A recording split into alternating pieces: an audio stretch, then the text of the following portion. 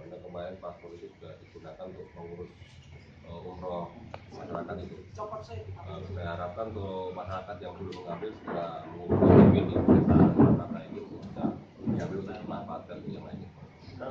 Jadi yang mengguna membawa identitas yang apa yang bisa dipertanggungjawabkan kemudian nanti diserahkan kepada kami untuk diproseskan dengan paspor yang sebenarnya.